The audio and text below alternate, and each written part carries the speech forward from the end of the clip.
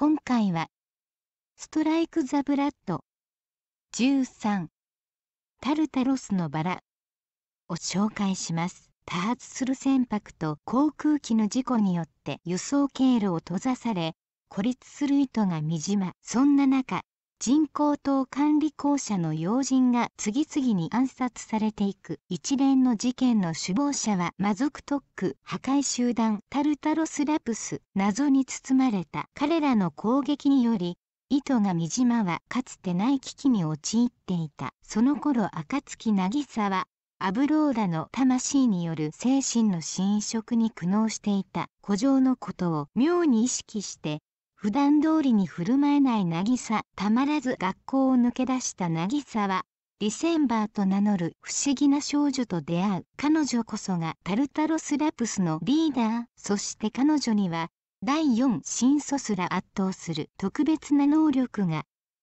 世界最強の吸血鬼が常夏の人工島で繰り広げる学園アクションファンタジー。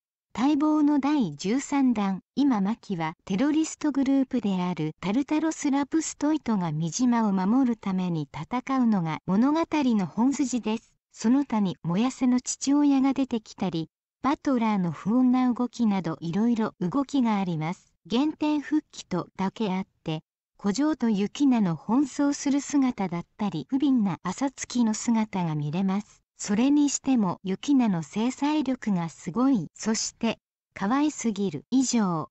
興味のある方は、実際の商品を Amazon などでご確認ください。今回は、最後までお付き合いありがとうございました。よかったら、チャンネル登録をお願いいたします。